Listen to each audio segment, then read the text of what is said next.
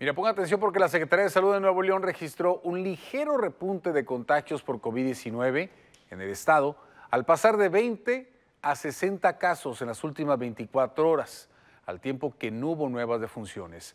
Ante la situación, la subsecretaria, subsecretaria de Salud, Lilia García, exhortó a la población a seguirse cuidando y aunque ya no es obligatorio, seguir utilizando cubrebocas cuando se considere necesario. 60 casos nuevos eh, y llevamos acumulado 623.955 casos.